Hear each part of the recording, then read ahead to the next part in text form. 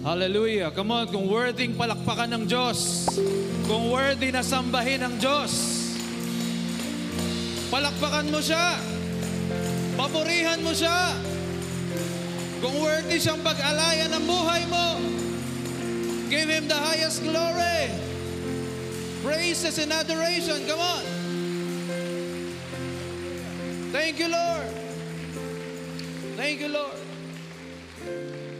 Panginoon, salamat sa opportunity that we are able to worship you. We are able to give our lives to you, our emotions to you. Salamat, Panginoon. Ina-acknowledge namin ang great, great presence mo in our midst. And today, umaasa kami, O Diyos, na matinding gagawin mo.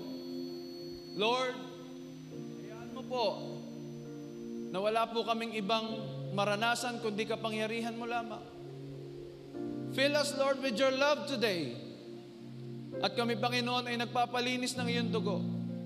Kung may nakikita ka pa pong bahid ng karumihan, kasalanan sa aming puso't isipan, we're asking that you cleanse us right now by your most precious blood.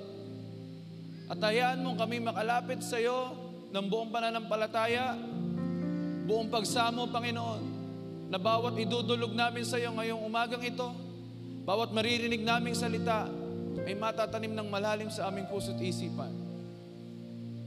Lord, maasa kami ng great things at nag expect kami ng greater things, Lord, more than we could imagine. Thank you so much, oh God. We also pray for all the JA1 worship services all throughout the world. Pagpalain mo ang bawat isa, Panginoon Diyos. Kiniklaim na namin ang victory sa iyong papuri, parangal at pagsamba sa pangalan ni Jesus. Ang lahat ay magsabi ng Amen and Amen.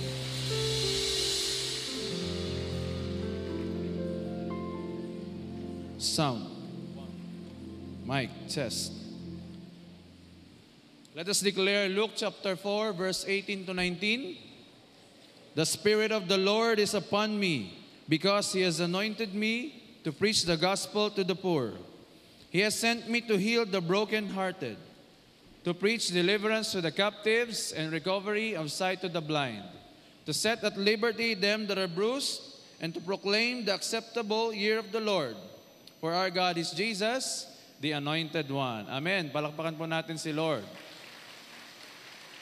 At ideklara din po natin ang ating kultura bilang JA1 family. Sabay-sabay po tayo. I am a blessing.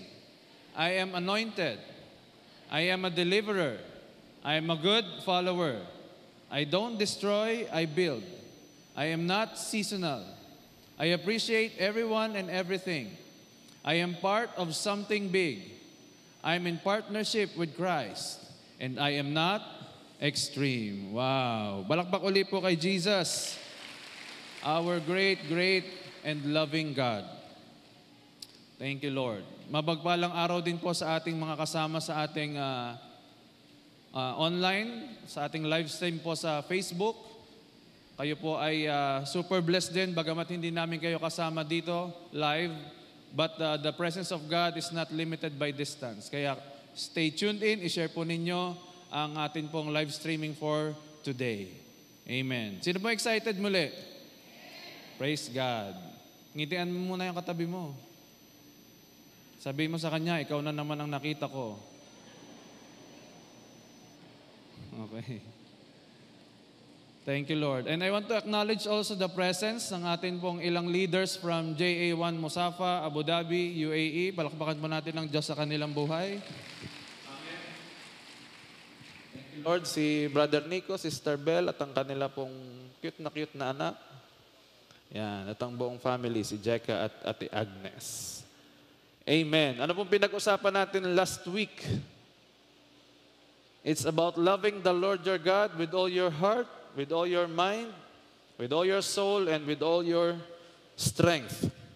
And of course, natutunan din po natin yung tatlong uri ng pag-ibig, which is the, the eros, the phileo, and the agape. Yung eros po, ito yung more on taking. Yung phileo, this is more on giving and taking. Pag walang binigay, wala din namang kukunin.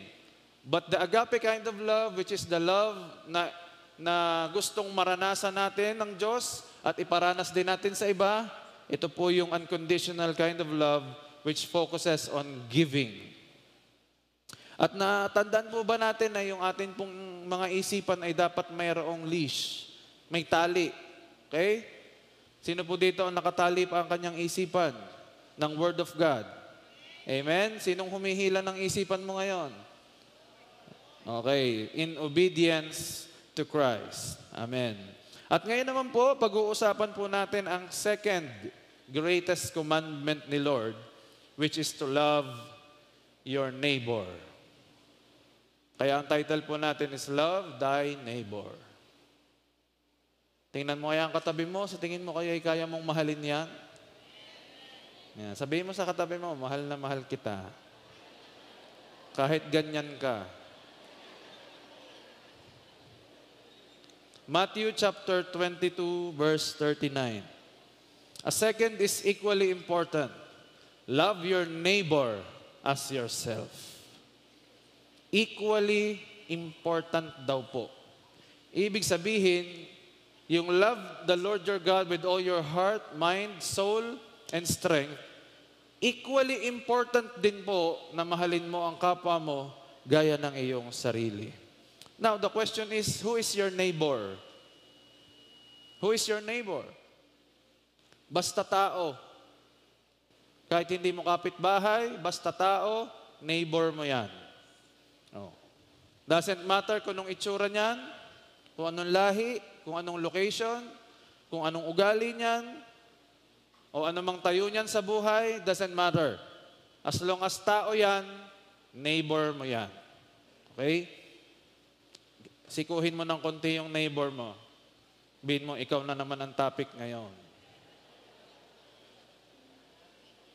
Pero ikakategorize po natin ang neighbor sa dalawa. Nung una po, ang inisip ko is, ang neighbor siguro is the believers and the unbelievers. Pero alam niyo po, mas appropriate po na category sa neighbor mo ay dalawa. The lovable neighbor and the unlovable neighbor. Kasi meron pong mga hindi pa mananampalataya, but they are lovable people. At meron din naman pong kahit mananampalataya na, they are still unlovable. Ganon po ka-imperfect ang tao.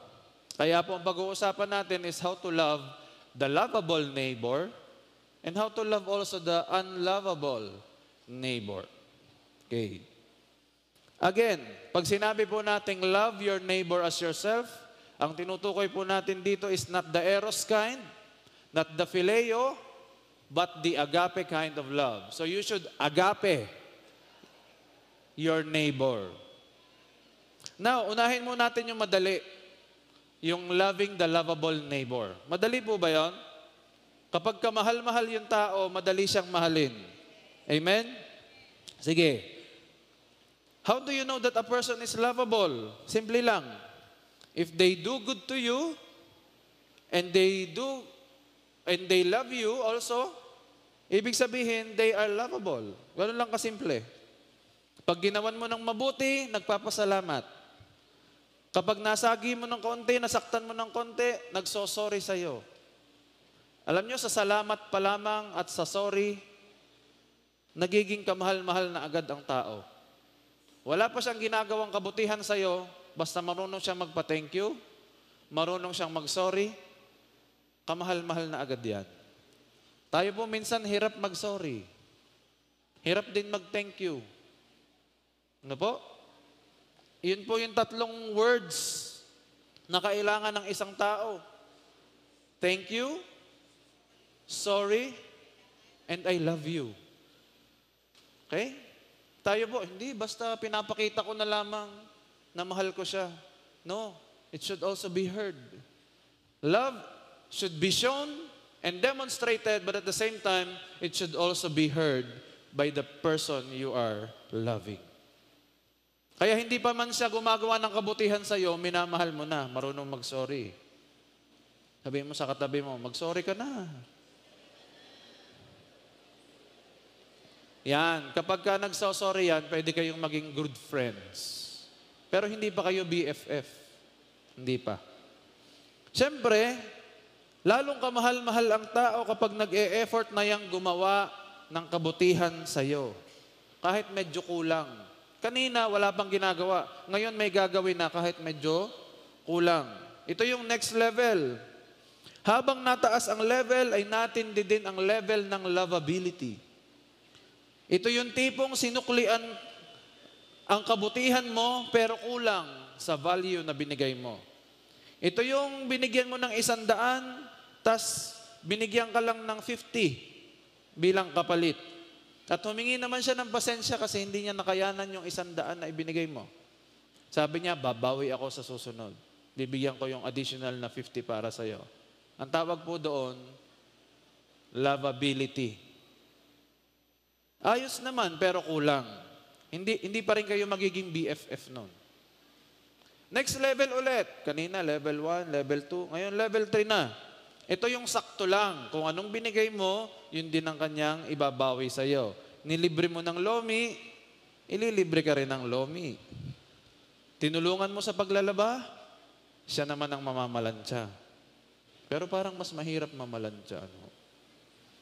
Kumbaga kayo'y amanos na. Ito yung pwede na kayong close friends. At may chance na rin kayong maging BFF, pero hindi pa sure. Meron sunod na level pa. Ito na yung matindi. Ito yung hinihigitan pa ang ginagawa mong kabutihan. Pag binigyan mo ng isang daan, ang ibabalik niya sa iyo ay 200. Kaya alam nyo, pagka may nagbibigay sa akin, ng, kunyari, binigyan ako ng limandaan, bibigyan ko ng isang libo. Hmm, Sinong gustong mag, Pag may nagpapapalit po sa akin, minsan ang binibigay ko yung kulang po ako ng 200. Huwag kang mag-alala, libre ko na yun. Hmm. Bakit? Ang gusto natin, mahigitan natin yung ibinibigay nila sa atin. Ito na yung mga BFF material. Yan. Kilala nyo ba kung sino yung BFF nyo? Yan yung mga taong nagsusukli ng kabutihan na ibinibigay mo at minsan ay hinihigitan pa ito. 1 John chapter 4 verse 19. We love because God loved us first. Kaya ka nagmamahal kasi una kang minahal ng Diyos. Muna nang tinanggap natin si Jesus Christ sa ating buhay bilang Panginoon at tagapagligtas, nanahan sa atin ang banal na spirito, kaya nagkaroon tayo ng agape. Sabihin uli natin, agape. Kaya ka nagkaroon ng agape love dahil galing yan sa spirit ng Diyos sa nasa iyo. At yan ang nai-share mo ngayon sa iba. Verse 20. Anong sabi ng verse 20? Whoever says, I love God, but hates another believer is a liar. Oh. Sino daw nagsasabi na mahal niya ang Diyos, pero galit siya sa kanyang kapwa mananampalataya, ay nagsisinungaling. People who don't love other believers whom they have seen can't love God whom they have not seen. Kung yun nga daw kapatid mo ngayon, katabi mo ngayon dyan sa upuan, eh hindi mo kayang mahalin. How much more daw yung Diyos na hindi mo nakikita ang mahalin mo. Amen? Kaya hindi mo pwedeng sabihin, mahal ko si Lord, tapos galit ka sa kapwa mo. Hindi po po pwede yon. Kaya po, the enemy of agape is self-centeredness. Marami pong tao ay ganito. Very self-centered. Ang meaning po ng agape is unconditional love, bigay ng bigay. Ang, ang opposite nito ay yung kuha ka lang ng kuha, self-centered. Self-centered people have only one topic to talk about, and that is themselves. Meron, makikita niyo isang self-centered na tao kapag ka kinausap ninyo at wala siyang ibang sinasabi kundi kanyang sarili. Hindi ho nakakatuwang kasama ang isang taong walang ibang sinabi kundi tungkol siya sa kanyang sarili. Ay paano po, Pastor, kung ang pinagmamalaki naman niya ay ang kabutihan ni Lord at ginagawa ni Lord sa kanyang buhay? By praise God. Kung meron siyang isineshare na gano'n. Kaso, eh, intayin mo naman munang ikay tanungin. Hindi yung, alam mo sister, talaga namang ako'y blessed na. Okay lang yon pero hindi mo alam kung yung kausap mo interesado. Baka binatak mo lamang at sinabi mo na, ikaw ay gustong gusto mong i-share yung ginawa ng Diyos, wala namang problema. Ay kaso paano kung yung kausap mo ay may lakad? Paano kung nagmamadali? Paano kung siya nangangailangan may mai-release? Pero ang ginagawa mo, ikaw ang nagsalita na nagsalita, almost one hour kang nagsasalita, yung, yung kausap mo kulang na lang ay magpunas ng panyo sa mukha dahil lahat ng laway mo sumambulat sa kanya.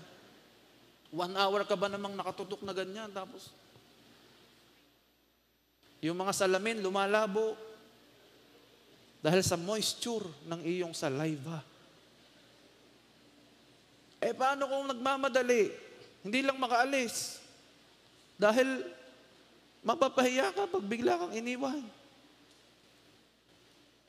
Pag tinanong ka, Sister, kumusta ka na? Yan, saka mo sabihin. Huwag agad banat ng banat. Malay mo, hindi naman interesado. Hmm. Sino dito may mga sasakyan? Taas ang kamay. Ay, ang dami nakapark dito, walang masyado. Taas ang kamay na may sasakyan. Taas ang kamay na magkakasasakyan. Yung Lord yung tumaas, magkakaroon. Lord, yung hindi tumaas, aangkas. Oh, hindi kayo pinabayaan ng Diyos, ano, nag-provide ng aangkasan. Ulit, sino ang mga magkakasasakyan? Talaga namang... Pag nag-park ka naman, isipin mo rin naman ng iba. Pakiayos. Pakipantay sa guhit. Pakita mo yung picture.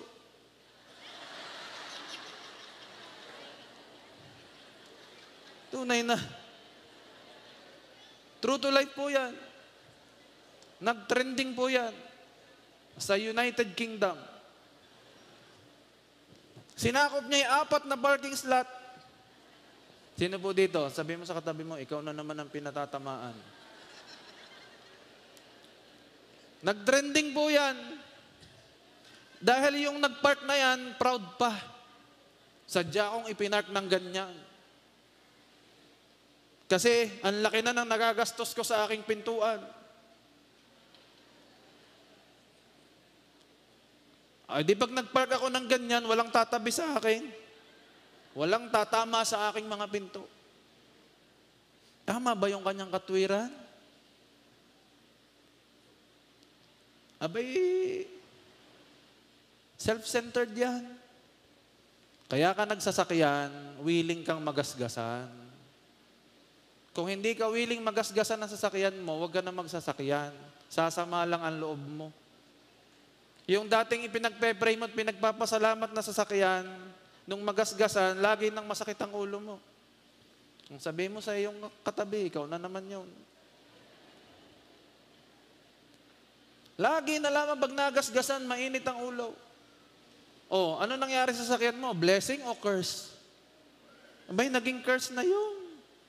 Sadyang kapag may sasakyan ka, tanggapin mo na na yan ay magagasgasan. Kahit anong ingat mo.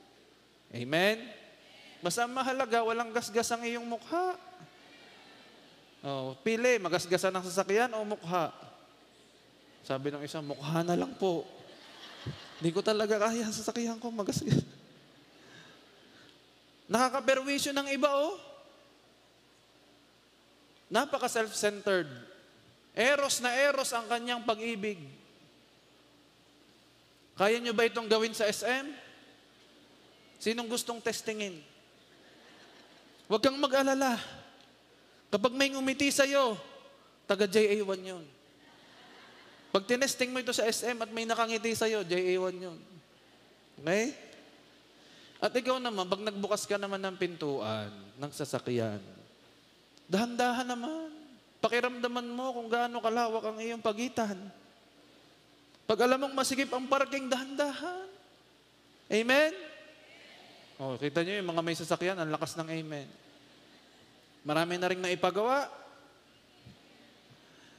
Philippians chapter 2, verse 3 to 4.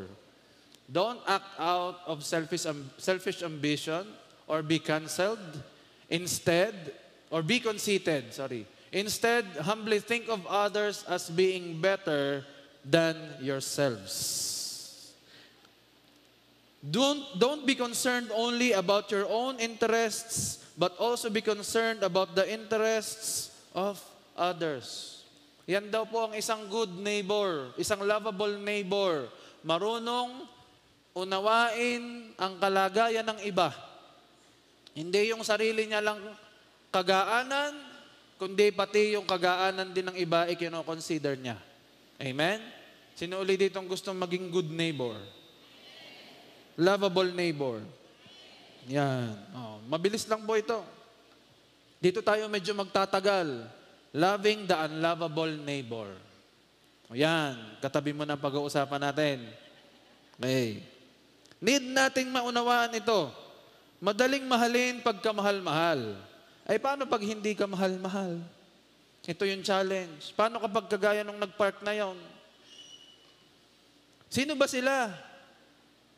Sila yung mga taong kumikilos at nagsasalita against our core values and our moral tendencies. In Micah chapter 6 verse 8, ito daw po ang isang sign ng isang lovable neighbor. This is what the Lord requires of you to do what is right, to love mercy, and to walk humbly with your God. Do what is right, love mercy, walk humbly with your God. Yan po ang isang lovable neighbor o person. So, ibig sabihin, ang unlovable person ay yung kabaligtaran nito. Ito yung mga tao that those, those people who do wrong, those people who don't care, and those people who are proud. Madya-generalize po natin sa tatlo. Those who do wrong, those who don't care, and those who are proud. Sa tingin mo kaya inachikan mo lahat yan?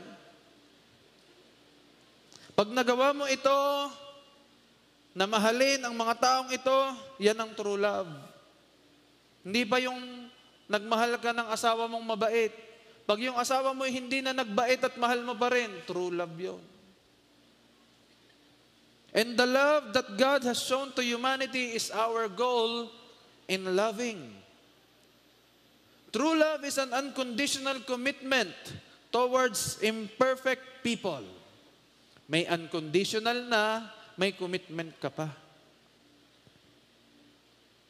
To the point that we are even looking for their common good.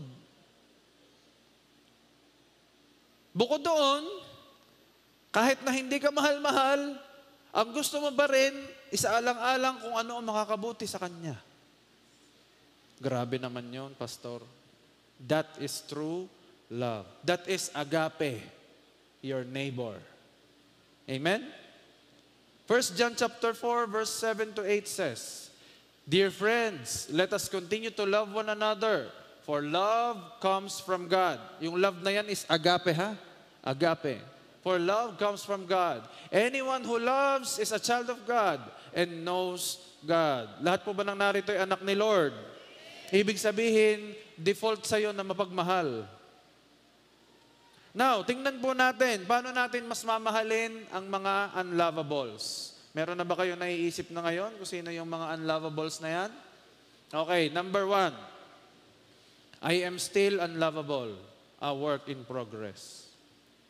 Minsan, tinitingnan natin ng iba, pero teka lang, ikaw rin naman. Unlovable ka pa rin. Kung gusto mong mag-extend ng grace at mercy sa iba, kailangan matandaan mo lagi na ikaw mismo ay unlovable pa rin.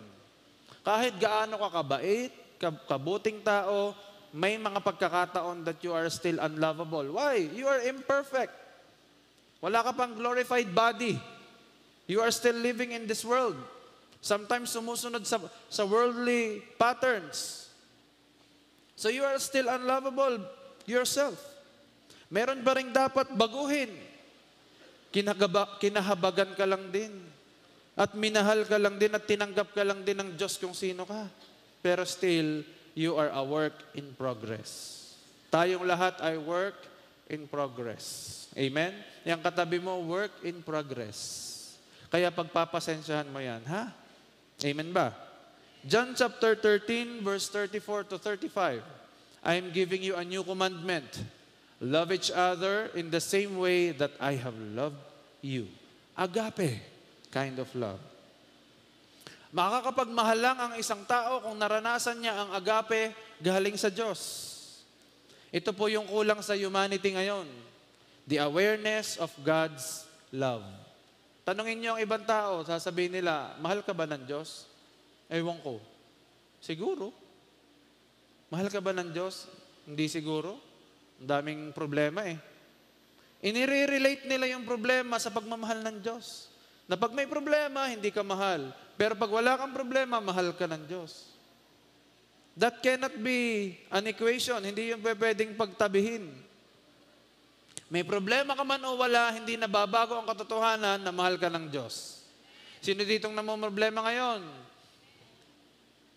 Pwede nang umuwi yung walang problema. Mahal ka ng Diyos. Sabihin mo sa kaliwat kanan mo, kahit anumang problema mo, mahal ka pa rin ng Diyos.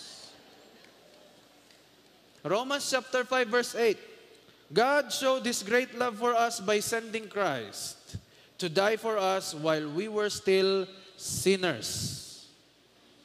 God loves us for who we are, but because of that love, He wants us not to remain who we are, but to be transformed for who He wants us to be. Mahal ka ng Diyos kung sino ka. At yung pag-ibig na yon ay hindi lang mananatiling mamahalin ka kung sino ka, kundi that love also transforms. Sabihin nga po natin, transforms. Kapag tinanggap mo ang agape love ng Diyos, automatic, not automatic, but magkakaroon ka ng urge sa iyong sarili to also be transformed according to His image. Kaso ang problema ay ito, si Satan. He is making sure that people will, will not realize the love of God. Si Satan po yon. Kaya po sabi nung ng 2 Corinthians 4 verse 4, anong sabi doon? The God of this world has blinded the minds of people para hindi nila maramdaman ang pag-ibig ng Diyos. Kaya ang ultimate mission ni Satan is not just to kill you, to steal, and to destroy. Ang isa sa ultimate mission niya, alisin ang awareness mo sa pag-ibig ng Diyos. Pag nakalimutan mo na at nawala na sa iyong isipan at puso ang pagmamahal ng Diyos sa iyo, then, sigurado, lalayo na tayo sa Panginoon. Pero hanggat buhay sa iyo ang pag-ibig ng Diyos, mananatili ka. Amen ba? 1 John chapter 4, verse 19. Pero bago yon naalala ko lang, di po ba tayo po ay nag, uh, we are moving in the signs, wonders, and miracles, inner healing and deliverance. Pag minsan may na-encounter po tayo sa deliverance, yung mga ayaw, sabi nila, mahal ka ni Lord. Hindi. Galit sa akin ng Diyos. Hindi, mahal ka ng Diyos. Hindi. Ayaw talaga nila. Pero pag sinabi natin, Lord, iparanas mo sa Kanya ang pag-ibig mo. Panginoon, ipakita mo sa Kanya kung gaano mo siya kamahal. Iiyak na yon. Sasabihin niya, ganito pala ako kamahal ng Diyos. Ano nakikita mo? Merong ano, meron siyang sugat sa kanya mga kamay. Tapos meron siyang korona na halos tumutulo ang kanyang dugo. At sinasabi niya, mahal niya ako. Kapatid, mahal ka ni Lord. We love each other because He loved us first. And love is an unconditional commitment. Paano magmahal ang nanay? Nagbubuntis ka. Mahirap. Pero hindi ka galit sa bata. Kahit pinahihirapan ka. Nanganak ka. Ang sakit. Pero hindi ka pa rin galit sa bata. Tuwan-tuwa ka pa nga. Pag madaling araw, gumigising ang nanay. Umiiyak ang maliit na bata. Hindi ka pa rin galit sa bata, pero galit ka sa asawa mong naghihilik. Talaga namang ako na lang nang ako nagtimpla ng gatas. Eh. Pero hindi ka galit sa bata. Bakit hindi ka galit? Unconditional commitment yun eh. That is love. Nothing the baby is doing to love you back. Wala namang ginagawa yung baby para mahalin ka. Anong ginagawa lang ng baby? Dumede, umiyak, umihi, pumupo, dumede, tumulog. Doon lang po umiikot. Pero bakit mahal mo? Because you know you have an unconditional commitment to love your child no matter what. At habang lumalaki ang batang yan, marami ang sablay na ginagawa. Pero bakit hindi mo pa rin sabihin na ayoko na sa'yo? Bakit mahal mo pa rin? Umiiyak ka pa rin? Gusto mo siyang mapatuwid? Kasi unconditional commitment yun. That is called agape love. Kahit pamali-mali, mahal mo pa rin. Kaya mo papaluin kasi mahal mo pa rin. Kaya nga nagkaroon ng salitang discipline. Tinutuwid mo siya kasi kawawa naman. Kapag lumaki at tumanda na hindi niya alam ang tama at mali. Proverbs chapter 13 verse 24. Whoever refuses to spank his son hates him. But whoever loves his son disciplines him from early on. Kung ayaw mo daw paluin ang iyong anak, galit ka sa anak mo at hindi mo siya mahal. Pero kung sino man ang nagmamahal sa kanyang anak, pinapalo at dinidisiplina sa umpisa pa lang. Ganito rin si Lord sa atin. Kaya mayroong pagpapalo ang Diyos upang maiparamdam niya sa iyong mahal ka niya. Kaya minsan dumaraan ka sa mga sitwasyong hindi mo maintindihan. Kasi hindi mo alam, may pagpapalo ang Diyos na konti. At gusto niya magising ka sa pagkakatulog mo. Unconditional commitment. Meaning, mamahalin mo kahit wala nang binibigay sa iyong pag-ibig pabalik. Meron din po tayo minsan, nasa loob ng church kasama natin. Bakit kaya kahit anong gawin ng taong ito, hindi ko talaga siya magustuhan? Bawat kilos niya, salita niya, nakakairita. May mga tao talagang annoying minsan. Well, I have good news for you. Hindi mo kailangan magustuhan ng ugali niya. At hindi mo rin kailangan kastiguhin yon para sa kanyang ugali. Hindi mo kailangan hintayin lumapit sa iyo at humingi ng tawad at magpakumbaba kasi baka hindi dumating yung time na yon. Ang kailangan mo, mahalin mo lang siya tulad ng pagmamahal ni Kristo sa iyo. Period. Nakakita na ba kayo ng magulang na nagkamali lang yung anak ay kinag tinakwil na? Wala. Unconditional love po yon. At magpasalamat ka at mayroong mga annoying at unlovable people sa paligid mo. Dahil dito nakikita kung talagang meron kang agape kind of love. Kaya ka sa school mo, may nakakainis na teacher at kaklase. Kaya sa trabaho mo, may nakakainis na boss at workmate. Kaya sa pamilya mo, minsan nakakainis ang nanay at tatay mo. O kaya ang kapatid mo. Bakit? Ay tinitingnan eh kung ang iyong agape love ay nando doon. Kung ang agape love galing kay Lord ay magmamanifest. Pero hindi nila alam, sila din naman ay irritating. Minsan naiirita ka sa iba, pero hindi mo alam, ikaw din naman nakakairita. Hindi mo lang napapansin. Hello? Kaya para maintindihan mo na magmahal sa mga nakakairitang tao, isipin mo lang, ako, mins, ako naman din ay nakakairita. At pag sinabi mong ako'y nakakairita din, ay nako, mamahalin mo ang mga taong nakakairita sa paligid mo. Luke chapter 6, verse 32 and 35. If you love only those who love you, why should you get credit for that? Even sinners love those who love them. Ano daw ang kaibahan ng isang Kristiyano sa isang hindi mananampalataya? Ito, verse 35. Love your enemies. Do good to them. Lend to them without expecting to be repaid. Sino dito nagpautang na? At hindi pa binabayaran?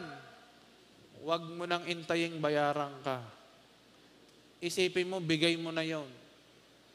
Amen? Parang humina ang amen ninyo. Yung malakas mag-amen, siya yung may utang. De, joke lang. Lend to them without expecting to be repaid. Then your reward from heaven will be very great, and you will truly be acting as children of the Most High, for He is kind to those who are unthankful and wicked.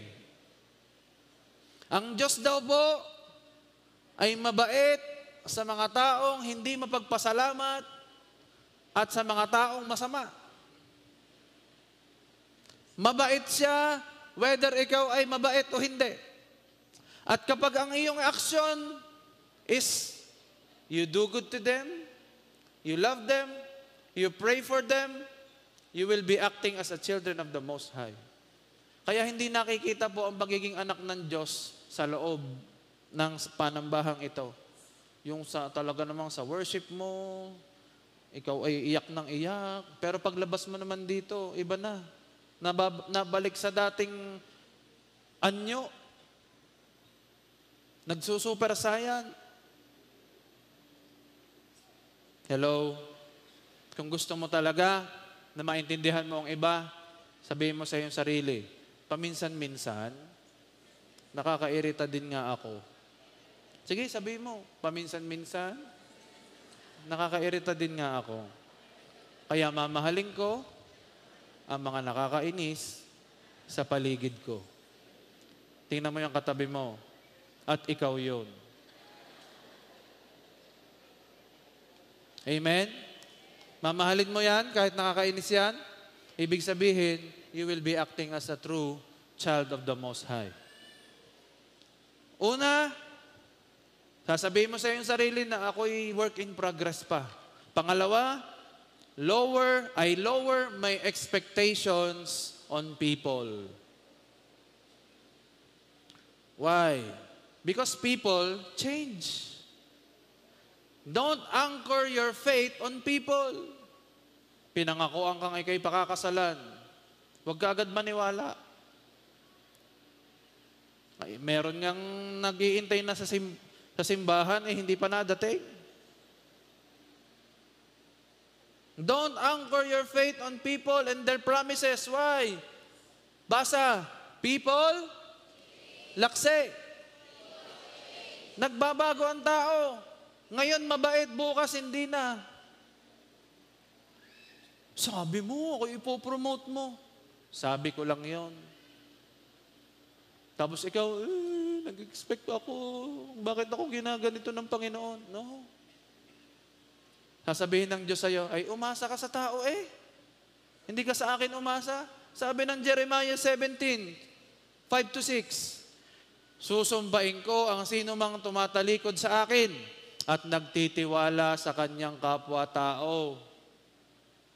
Ay, galit ang Diyos sa kung sino mang tao na tumatalikod sa Kanya at nagtitiwala sa tao. Sa lakas ng mga taong may hangganan ng buhay. Kaya alam niyo po, pag may nangako sa inyo, eh, di thank you. Pero don't expect big from them. Why? Because they change.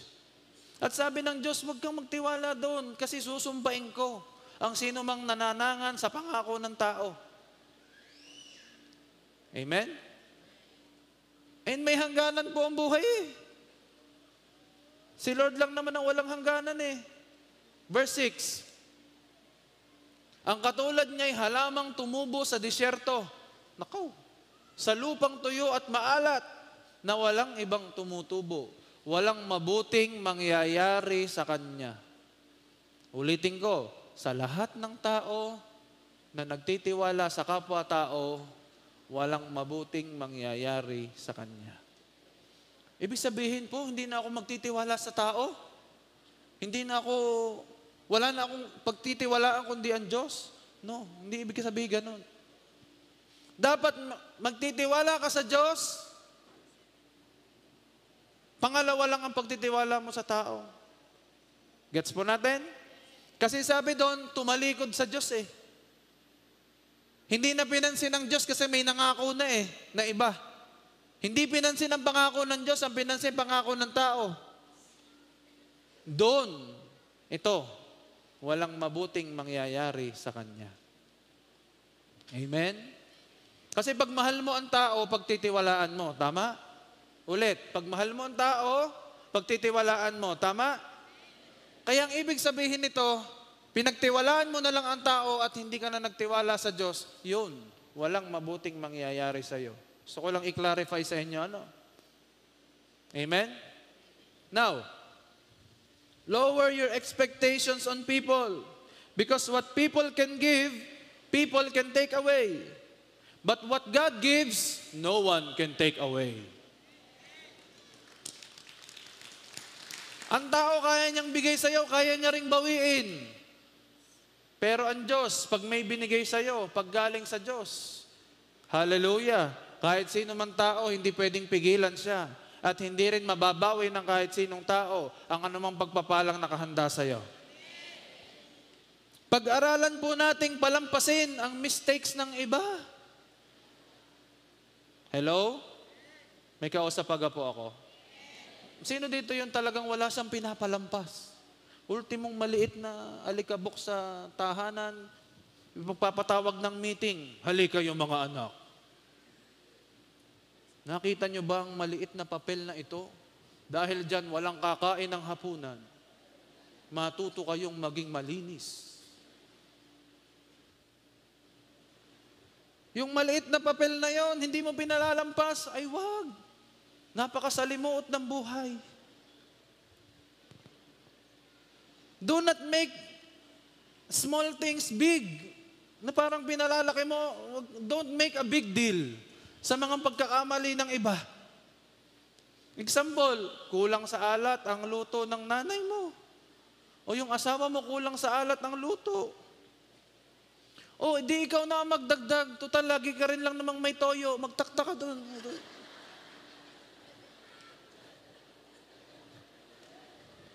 O, may toyo ka na naman. O, paalatin mo yung luto. Itaktak mo yung para may magkalasa. Hello? Palampasin mo na naman. Huwag mo na laging gawing big deal. Kung hindi kaya ni Satan na pagkasalain ka, gagamitin niya ang ibang tao na magkasala ng dahil sa iyo.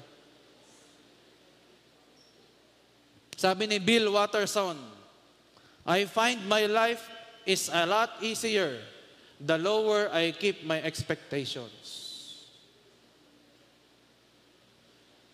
Itong tinutukoy po dito ay sa tao ha.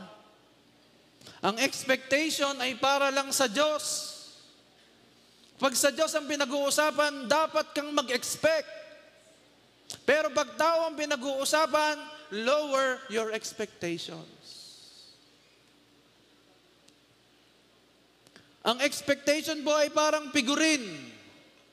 The more na hinihigpitan mo ang hawak, the more na nagkakrak ito. Gets? Kapag lagi ka nakakapit sa expectation mo sa kapwa mo, nako, lalo itong masisira. Kaya kung ikaw ay matindi pa rin mag-expect sa pangako ng tao, pues panahon na para ibaba mo na yon. Doon ka na lang mag-expect sa pangako ng Diyos na siguradong hindi pe pwedeng mapu- maputol, hindi pe pwedeng mapako. Wala pang pangako ng Diyos ang napapako. Lahat ng ipinangako sinabi ng Diyos, ginagawa niya. Dahil alam natin, sinabi niya, Numbers 14 verse 28, ano mang marinig ko sa inyo na, na, na sinabi ng inyong labi, gagawin ko para sa inyo. Bakit? Kasi nga, tayo sa mundong ito full of expectations. Gusto lagi natin, we, we have something to look forward to. Gamitin natin ang ating expectation sa tamang patutungkulan, which is the expectation of the promises of God. Ang expectation ay para lang sa Diyos at hindi sa tao. Mahalin mo ang iyong kaaway. Mahirap, but we have to do it. Ano ang dapat mong gawin? Focus on the love of God. Then reflect that love towards others because we are simply reflections of God's love. Pastor, hindi ba kapag hindi ko pinakita yung totoo kong nararamdaman, hindi ba yun ay masama? Dapat awayin ko siya para malaman niya na masama ang ginagawa niya. Di ba parang tama ano? Dapat malaman niyang mali siya. Aawayin ko siya. Sasabihin ko sa kanya ang mga pagkakamali niya. Oops, akala mo lang yon, pero mali yun. Yan ang pagkakaalam mo. Pero sa totoo lang, hypocrisy is when you know something right and you don't do it. Hindi yung, hindi, ayoko magpaka-ipokrito sa'yo. Gagawin ko at sasabihin ko kung anong nararamdaman ko. No. Yung tipong maamong tupa pag nasa church, pero pag uwi ng bahay, nagiging lobo. Wolf.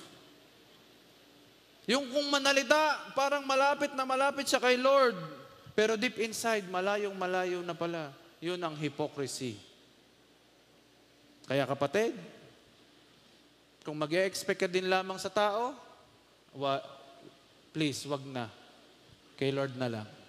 Amen? Dahil lahat na nagtitiwala sa Diyos, hindi nabibigo. Romans chapter 10 verse 11. Lahat na nagtitiwala sa Diyos, hindi niya binibigo. Amen? Sino yon? Number three, release forgiveness at once. Habang maliit pa ang apoy, patayin mo na agad. Hipan mo na. Colossians chapter 3 verse 13. Make allowance for each other's faults. Yan na. And forgive anyone who offends you. Remember, the Lord forgave you, so you must forgive others. Sabi po nila, time heals all wounds. Hindi totoo yon. That's not true unless you start to forgive. Time cannot heal the wound. but only forgiveness can heal it. And the best gift you can give to yourself is to forgive all people who have hurt you. Trust is earned, but forgiveness is freely given. Hindi naman natin pinag-uusapan na maibalik agad ang tiwala sa iyo. Hindi ganon. Ang pinag-uusapan natin, at dapat na agad-agad mong gawin, mag-release ka ng kapatawaran. Okay? Dapat agad yon. Wala nang reason. Either nagpakumbaba siya o lumapit o hindi, patawa, patawarin mo agad. Humingi ng tawad o hindi, patawarin mo agad. But that, that doesn't necessarily mean na nagbalik na ang trust mo sa Kanya because trust is to be earned para maibalik yung dating relasyon. Kaya kung gusto mo ng magandang regalo ngayong Pasko, malapit na ho ang Pasko, Regaluhan nyo ang sarili nyo ng forgiveness sa iba. Pinakamagandang regalo nyo na yun sa inyong sarili. Meron pong isang testimony ng isang babae na isang kristyano. Siya po ay married na at meron siyang dalawang anak. Pero one day naghiwalay sila ng kanyang asawa dahil sa isang mistress. Nagkaroon ng others yung asawa niya. Tinuloy niya ang kanyang buhay until such time, 10 years old na yung kanilang anak na lalaki at na-diagnose yung kanilang anak ng brain cancer. 10 years old pa lang. Sabi ng doktor, 6 months to 2 years na lang ang kanyang buhay. So the woman took care of the child. Inalagaan niya po yung bata. Binuhusan niya ng pagmamahal, agape kind of love. You know what? Hinding hindi binisita ng ama yung anak. Never, not even once. Hanggang sa nalampasan ng bata ang two years, nataning nito. At two more years pa ang dinagdag sa kanya hanggang sa naging bedridden na yung bata. Still, walang bakas ng ama. Hindi nagpakita. Until naghihingalo na ang bata, tinatawagan na ng ama, tinatawagan na nung asawa yung kanyang yung asawang lalaki para dalawin man lang sa huling pagkakataon ng kanyang anak, pero hindi pa rin nagpunta ang ama. Matigas ang puso. Every hour, tinatawagan niya, wala pa rin. Hanggang sa pumanaw na po ang bata. After one and a half hours na namatay ang bata, dumating ang ama. At nang makita siya ng babae, matinding galit at bitterness ang kanyang naramdaman. Hindi mo siya masisisi, di ba? Pero yung nanay niya, yung lola ng bata, inimbita siya sa isang born-again church. At saktong ang topic ng pastor ay about forgiveness. Iyak siya ng iyak kasi kinausap siya ni Lord, forgive your husband. At paglabas na paglabas nila ng church, tinext niya ang kanyang asawa at sinabi niya, pati yung kabit, sinabi niya, I forgive you both and I love you both. Sinong kaya yung ganon? Sa kabila ng pinagdaanan niya, nagpatawad at nagmahal pa rin. You know what? Dumating yung panahon na itinest ang pag-ibig. Nabulag ang isang mata ng kanyang asawa. Siguro sa iba-iba, buti nga sa iyo. Nakuha mo. Alam niyo kung anong ginawa niya? Iniwan na nung mistress. Nabulag ang isang mata. Ang ginawa niya, pinuntahan niya. Dinala niya sa ospital. Ipinagamot niya. Inalagaan niya. Binandayan niya. Hanggang sa gumaling at muling makakita. Nag-expect ba siya na magkakabalikan sila? Hindi. That's not part of his pla- or her plan. What she did, she suppressed her emotion by her will to unconditionally love. Because naunawaan niya ang pag-ibig ng Diyos sa kanya. At after po noon, yung asawa niya na born again. Nagkabalikan. Naging mas masayang pamilya kaysa dati.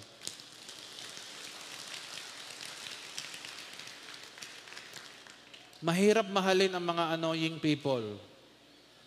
Lalo na kung inaway ka pa't sinaktan. Alam mong hindi siya deserving sa love mo. Pero yun ang Kristiyano. God expect us to love our enemies, do good to them. That is our goal to be an agape to all people. Lovable man or unlovable. Kaya kung ikaw meron bang hindi pinapatawad ngayon, panahon na para patawarin mo. Release that pain and bitterness in your heart. And it's time for you to move on and get the blessings that God has prepared for you. Kaya hindi dumating ang pagpapala. Bakit? May nakakalang na galit at sama ng loob. Pero through your forgiveness, kagaya nung ginawa ng asawang babae, hindi, niya, hindi siya pinangunahan ng kanyang galit at bitterness. What she did was to unconditionally love yung husband niya. Kung may galit ka sa asawa mo ngayon, bago kayo pumunta dito, nag-away pa kayo, patawarin mo na yan. Kung may galit ka sa anak mo, ginigising mo, ayaw magising kasi gising na yan. Hinila mo pa sa higaan para isama dito. Sumama ang loob mo, patawarin mo na yan. Dahil ang kalooban ng Diyos sa'yo, buhay na ganap at kasiyasiya. At mangyayari yon sa buhay niyo. Are you willing to love your neighbor? To love him or her unconditionally? Alam mong hindi mo kaya sa lahat ng pagkakataon. Pero sabi ng Diyos, My grace is sufficient and my power is made perfect in your weaknesses. Tayo may upo tayong lahat.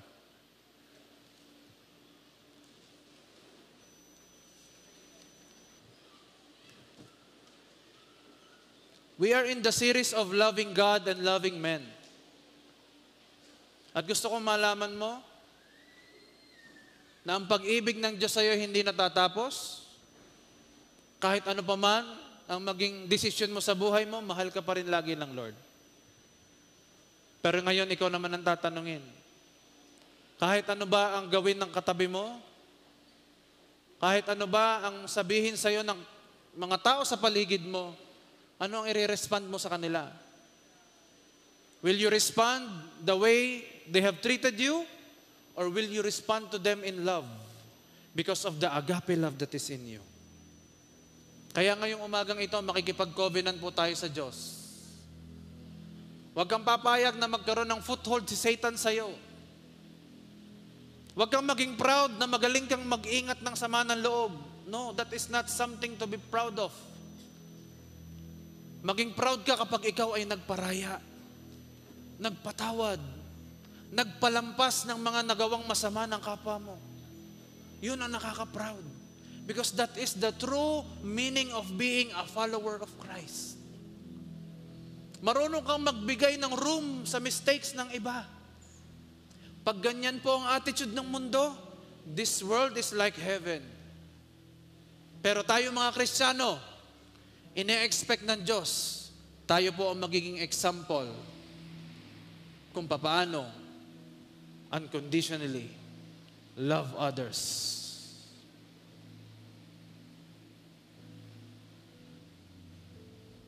Kaya ngayon pong oras na ito, isipin mo kung meron ka pang sama ng loob.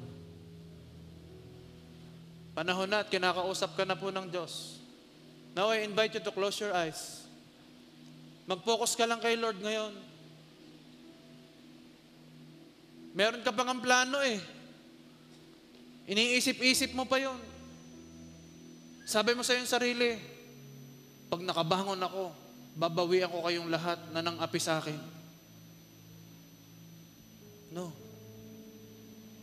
That's not agape love. And that is not the, the love that God has given unto you. The, the love that God has given unto you is a forgiving love. Kung ngayon nagpaplano ka pa na saktan din ang nakasakit sa iyo, kapatid, don't give foothold to the enemy. Panahon na para i-release mo yan. And let God do wonders in your life. Sige, as you close your eyes, wag mong intindihin ang katabi mo. Pinapakita sa iyo ng Diyos ang mga taong patatawarin mo. Magulang mo, anak mo, asawa mo, mga katrabaho mo, kaklase mo. Come on, God is showing to you these people. Maaring katabi mo ngayon. Release that pain and hatred sa paanan ni Kristo. Forgive. Forgive. Forgive. Forgive. God is here. Sabi ng Diyos, ang sino mang lumalapit sa Kanya ay Kanyang pagpapahingahin. Ang totoong nagpapabigat sa iyo ay ang galit mo sa kapwa mong nakasakit sa iyo. Help yourself. Bless yourself by forgiving them. Sige, patawarin mo yan.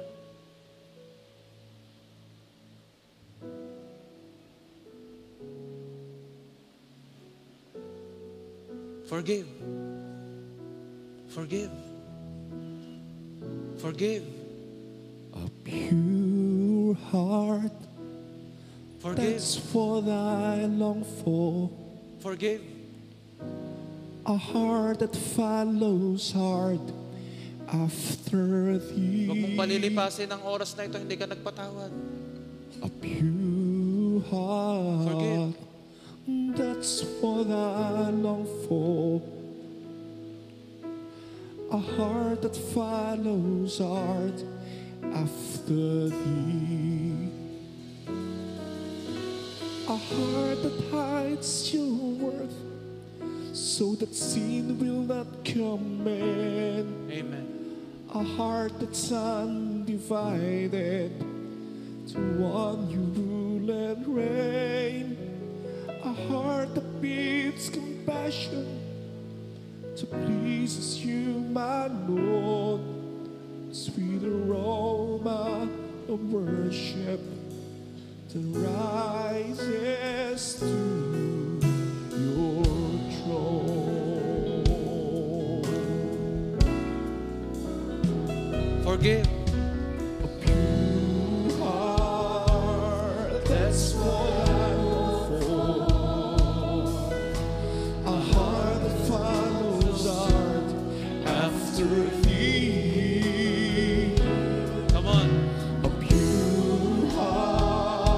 Align your heart to the Lord's will. A heart that follows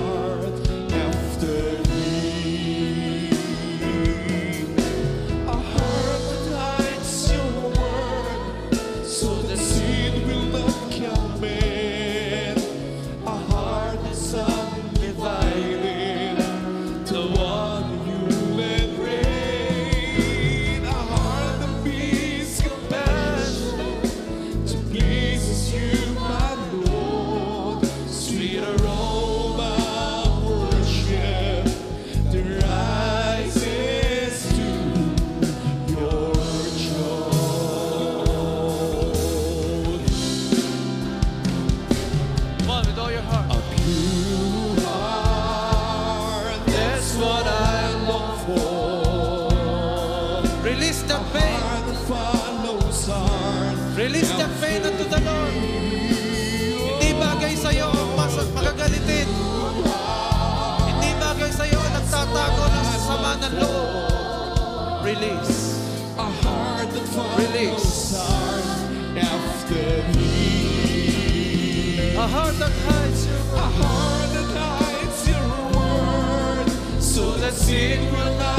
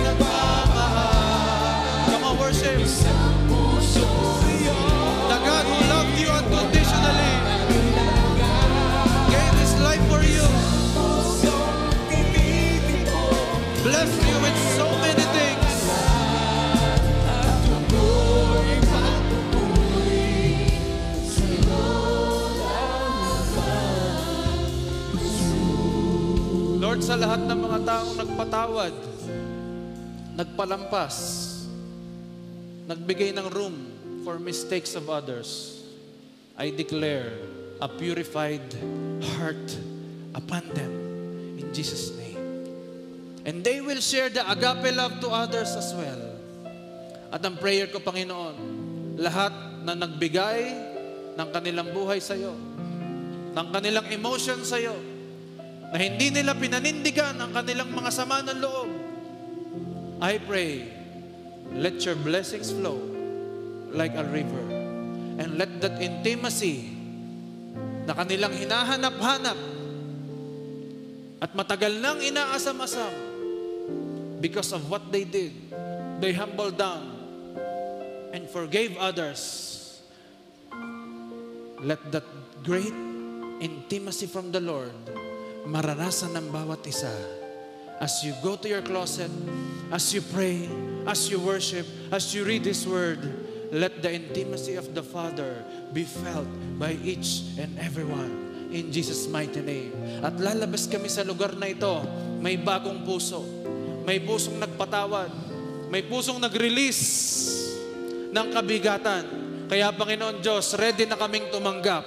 Bukas na ang aming mga palad, bukas na ang aming puso't isipan na tumanggap ng masaganang biyaya, masaganang pagpapala na nanggagaling sa iyo. Wala na ang hadlang at wala na ang pandaraya ni Satanas sa aming mga buhay. I declare ang buhay ng mga tao ngayon na nagsasabing they will love their neighbor, whether lovable or unlovable. I declare ang kanilang buhay ay pasaya ng pasaya, papayapa ng papayapa, paangat ng paangat, paunlad ng paunlad, at pa parati silang magbibigay ng room for forgiveness sa lahat ng tao, whether believer man o hindi, in Jesus' mighty name. We love you, Father. We love you, Jesus. And we love you, Holy Spirit. Salamat po sa magandang puso na ibinigay mo sa amin ngayon. In Jesus' name we pray, to you all the glory. Ang lahat po ay magsabi na, Amen and Amen. Sabihin mo sa kaliwat kanan mo, I love you with the love of the Lord. I love you with the love of the Lord. Amen.